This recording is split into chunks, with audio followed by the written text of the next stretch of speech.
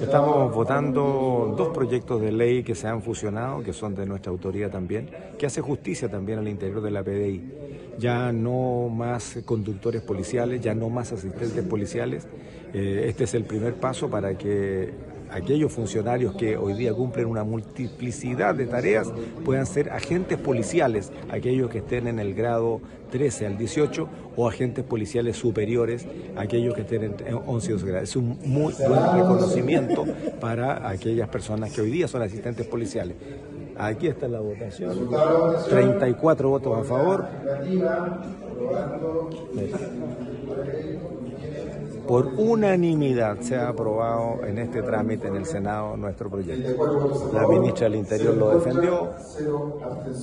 Muy bien, muy bien.